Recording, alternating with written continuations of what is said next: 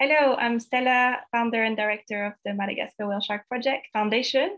So this is our brand new Patreon page that we are launching in order for us to gather a bit more funding for the project year round and uh, continue our important work in Madagascar.